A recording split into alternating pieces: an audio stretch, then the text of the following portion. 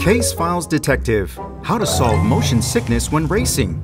A race car driver visited my office. He bought a new XR device a few days ago and played a racing game.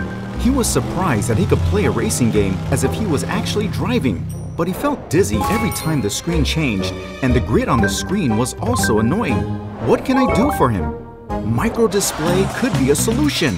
A micro display is often less than 2 inches as small as stamps, and it is an ultra-high definition display that is an accumulation of pixels several times of smartphones. Since micro display utilizes a semiconductor wafer as a substrate, it is able to design small and delicate circuits and ultra-high resolution is possible. In addition, thanks to the incredible fast response time, it can alleviate motion sickness and dizziness caused by a motion blur while using XR devices. It is crucial for XR devices to have features such as lightness and portability.